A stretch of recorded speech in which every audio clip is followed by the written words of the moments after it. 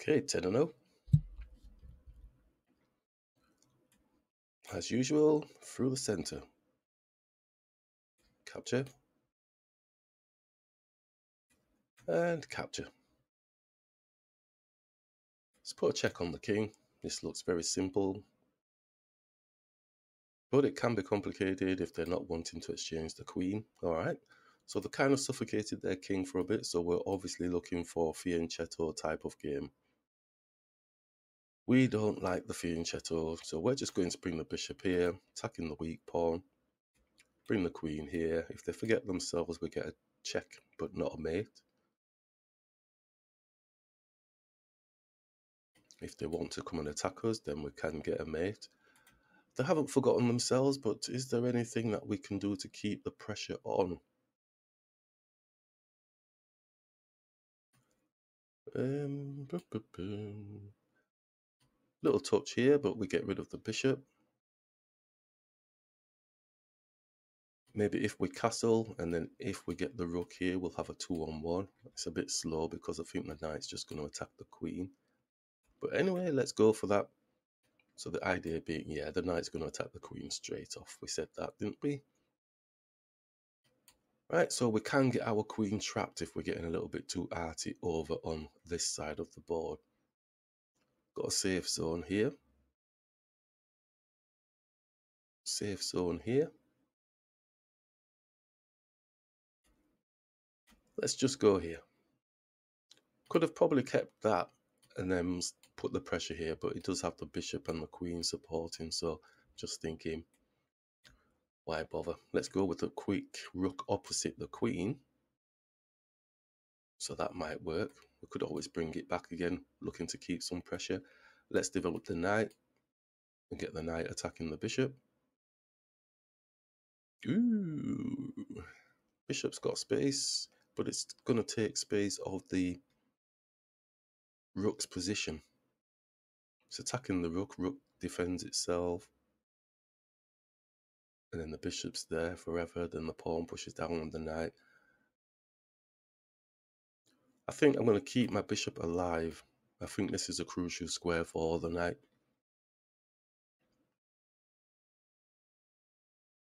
Yeah, so they've basically given us permission to go in and attack the bishop. If it's going there, it's blocking. Okay, it's not doing that. So we could go for a attack on their knight with a smaller piece. And let's take this off the board. Bishop comes down and is attacking the rook. I'm quite okay with that. Let's bring the rook across. Probably looking to do a bit of a sack-sack here making space for an attack on the king. So as you can see, we haven't got the dark squared bishop out yet. Um, I think I mentioned um, in one of the earlier videos where when you're developing, you're developing, yeah, your minor pieces first if you can. It's really about developing appropriately if it's needed, you know. So don't just rush out there and just go, well, I need to develop and you're not actually finding a half decent position for yourself. Let's hit this bishop with a smaller piece. Knight's still on there, bishop. Bishop's trapped in there. Let's hit the bishop again with a smaller piece. And again. Okay. Now, we have options of going here, but I think we go here first. Oh, it's not having the knight there. It's not happy with that. So situation is bishop's going to be going here. It's going to be on the queen. I do like being near their king. So let's go here. Let's bring the bishop here just for a bit of activity, linking up the rooks. Start pressuring onto the only open file at the minute.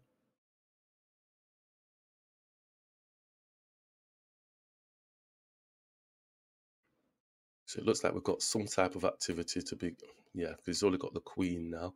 So we could start this attack. So if they do take, can start pushing towards the king area. Let's go with this one for now, and then we'll do this one. Maybe we're too slow. Okay, what's he doing? So he's attacking this pawn. If we go here, he does en passant.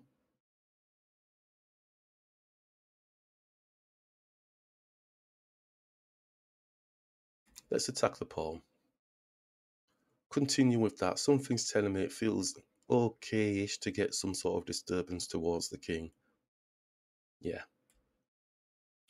Let's just go here.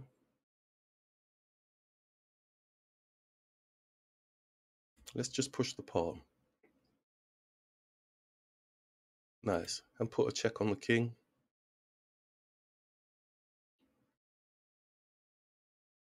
Let's just push onto this pawn here. We're looking if they do take, then it's got a check on the king. Checkmate, I think, because he got no nowhere to go.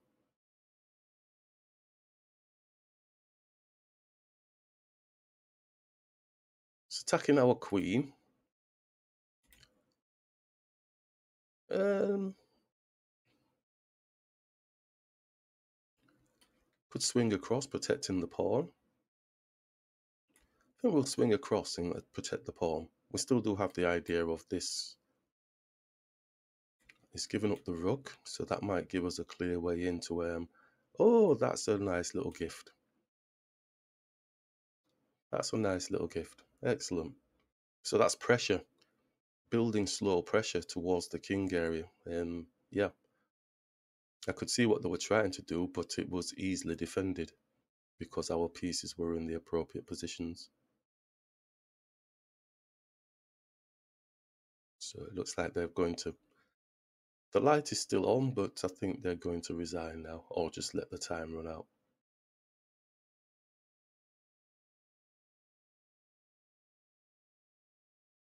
So I think I was really, I'm quite pleased with the development of that. And we chose to continue putting pressure towards the king area, which kind of, in a subliminal way, kind of forced the opponent to do some kind of crazy moves to try and prevent the attack on the king area. It's not saying we found the best moves at all in any way, shape, or form. If we look at the analysis, it probably is going to say, well, no, that was not the way to go. So we'll do that. But always bear in mind, in the game, right here, right now, no matter what the evaluation says afterwards, our calculation brought out responses from our opponent that they didn't take advantage of any advantage that they poten- potentially had because we utilized our own mantra, the answer process, trying to find appropriate positions, using smaller pieces to attack higher pieces to win important tempo in terms of improving our position on the board. So we believed, using our own personal theory of the game. So we'll have a look at the analysis and okay let's um, go back back back back back back back to where it potentially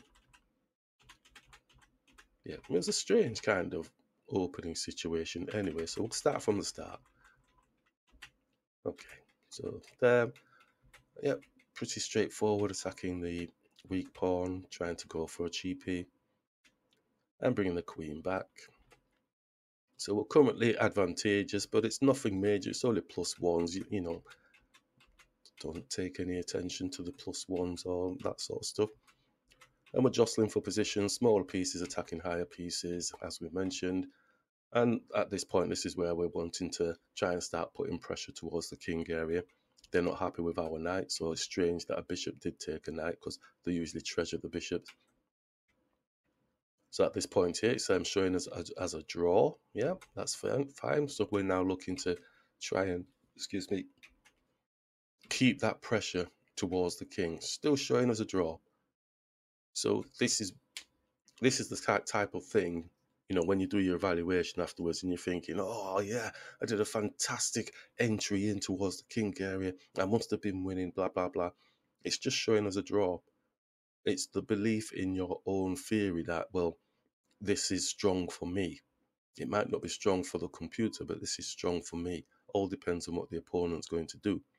We're, we're willing to give this pawn up to win some type of tempo in putting pressure towards the king area. And it seemed to work out. It's like plus five, but plus five again, that's nothing major. That can be changed quite easily. And then we pushed the pawn, and look at that. We lost five five points with the pawn push. How amazing is that? Rook d4, it's saying, attacking the queen. I don't think that would have caused me any problems. So it's showing a draw from that move, but I would still do it now because of the psychological aspect of pushing towards the king area, trying to create something rather than being a little bit sitting back on my feet and just waiting for the opponent. I'd rather be activated and building building the attack nice and steadily, but also trying to cover off any um, blind spots that might occur. So we push the pawn again. It really doesn't like that. We've lost five points yet again. It's saying Queen C4, which is X-raying through to the king. Yeah, we're not we're not into them apples. Um, nice touch, but very happy with the pawn push. Um, we just wanted to disturb the king, and also there is the plan of going for a checkmate type thing, and it's not happy with that. it's not happy with that because we we wanted them to take. So if they did take, then we would get the um, checkmate in. Oh, it's saying three.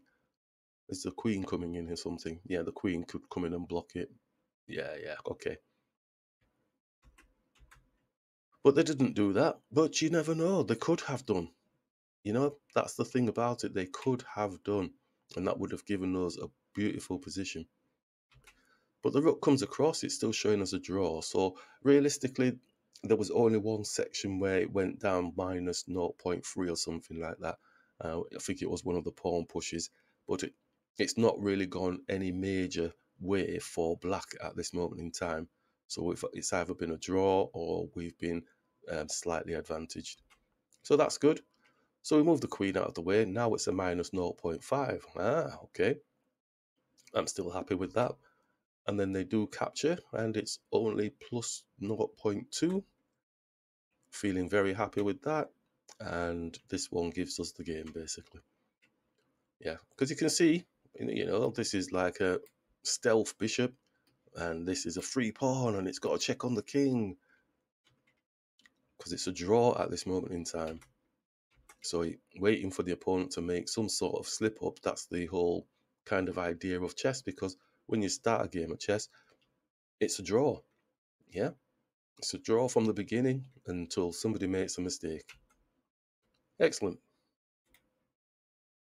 Okay, 10 and 0. And let's see what we can pick up and learn from today. Okay, we're going to just capture this pawn. Don't think I played this um, pattern position for a bit. Let's just push the pawn. We just do that to stop this pawn from coming here so we can develop the knight. So I'm going to develop the knight. Don't want to slow down my development of my castling. So let's castle. Don't get embroiled in anything the opponent's doing here.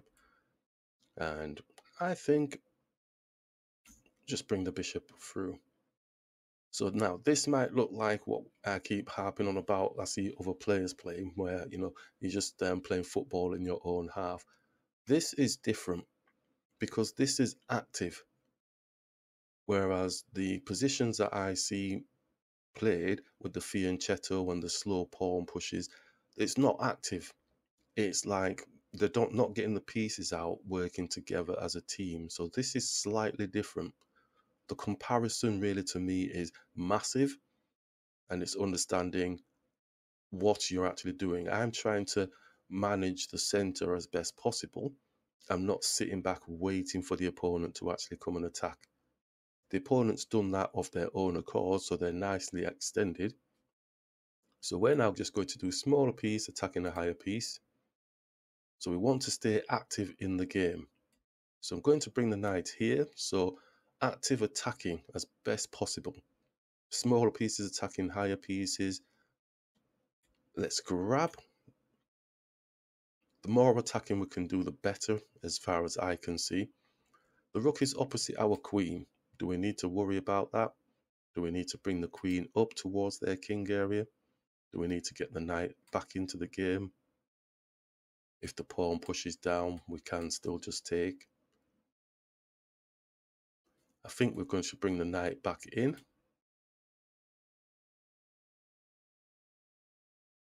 So again, looking for things that we can attack or give them something to think about. Queen's in, and they've looks like they've resigned. The Queen is in. Do you want to know why they resigned? Because the Queen was supporting the knight here. So we've got a free knight. Okay, so lesson learned from this one is just take a little bit of time to have a look at what piece is defending which piece and when before you've made the move just check that um, all your pieces are safe. And yeah okay nice game ish okay so it looks like today's session is we're look, focusing more on the attack aspect of of the game. And basically just giving them things to think about focusing on that aspect um, in this particular session anyway so we're going to grab for because based from my experience of playing the game of chess, um, my own sort of style is is an attacking style. Um, I think I potentially struggle with the strategic, you know, the long strategical, non-activity type games, and that could be to my detriment. But everybody's got weaknesses that they want to work on. Do you know what I mean? So nobody's perfect, and because you have your own personal characteristics, um, you're not going to be able to fit every style, system, etc. You're going to have to cho- make a choice as to what your playing style and system is, or else you're just going to be a jumbled up mess. So I know that I like attacking, um, not into any of this strategical fancy play. Um, I understand it, um, but when it comes to all that tactical rubbish, I'm like, nah, I'm not into any of that it almost feels like it's taking the soul out of the game. I'm going to attack the bishop, as we said, like like attacking. I did look and thought, well, I've got two pieces protecting here. If he does take, then I can improve my position a bit.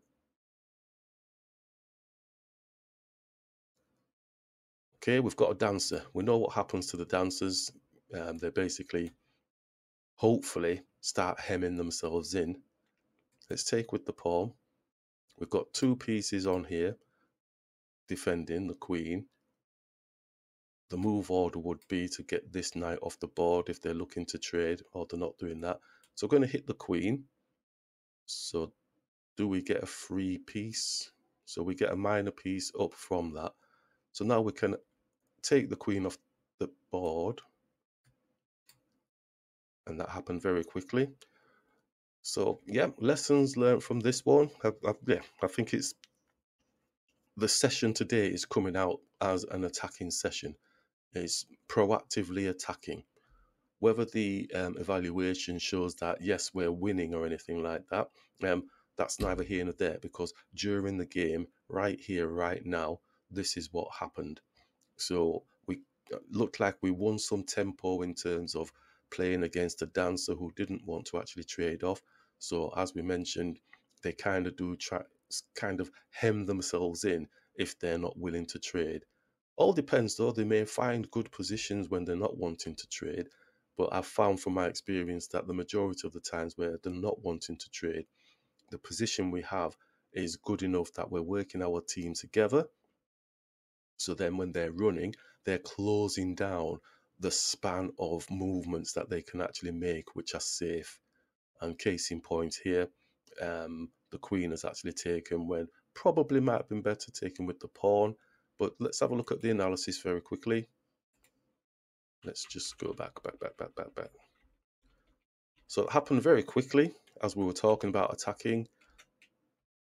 So taking a look at the positions that we've got, we're developing our pieces. We've got the minor pieces out, we've got the queen out, jostling now just for a nice position, and then castling.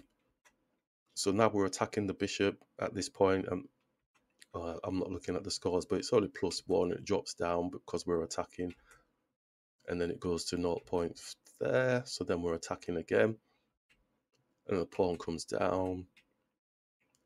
And at this point, it's not showing favourable because we can take the bishop off. Queen's taking. Now, I do think that the pawn should have taken here. It's only plus 5.9, so I think the pawn should have just taken. But they got a bit carried away taking with the queen. So we're still winning at this point in time through active attacking, keeping the pieces active, and causing the opponent to over, overthink or underthink. So yeah, not too bad.